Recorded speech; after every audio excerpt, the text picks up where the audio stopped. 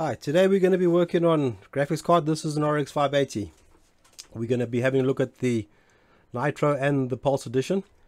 Um, customer complaint, one of the fans stuck on 100%. So that's 3000 RPM, very noisy. That's whether the computer is gaming or idling or even posting before Windows.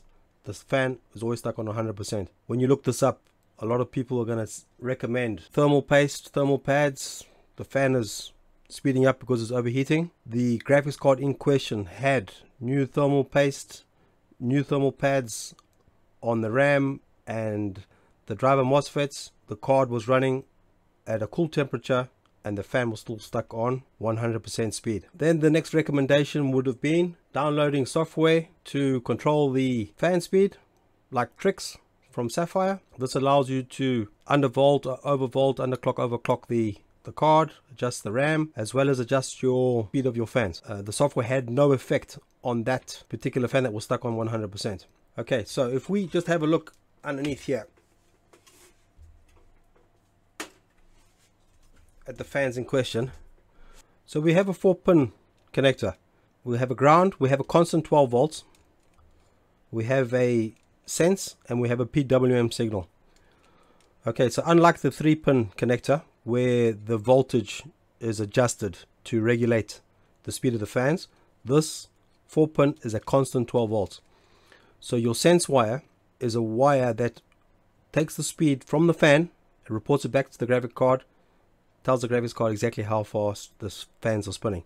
Then you got your PWM, okay, so that is a pulse and that a signal sent from the graphics card to the fans. The fans have some circuitry inside, interprets that signal and adjusts the current accordingly to either speed up or slow down the fan. So when you have a fan that's stuck on 100% speed, it's receiving the modulated signal from the graphics card, but it's not working. It's not adjusting the speed. So it's like having a three pin cable plugged in. So what's the fix? Having a look at all these cables and daisy chains, it looks quite complicated, but the actual fact is you, you have one Phillips screw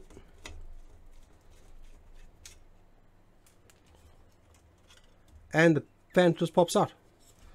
You have four contacts on the bottom of the fan and you have four contacts, spring-loaded contacts on the graphics card. Okay, so you get rid of your faulty fan, get in a new fan. This is the Nitro fan that I took out of the customer's card that was stuck on 100%. I got a fan from a Pulse which is exactly the same size specifications and it worked perfectly. The fan is regulated. I can control the speeds using Sapphire TriXX no problem.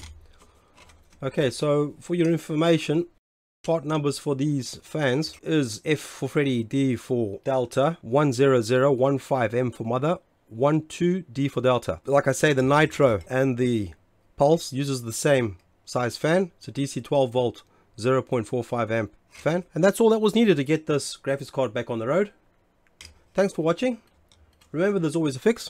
And we'll see you in the next one.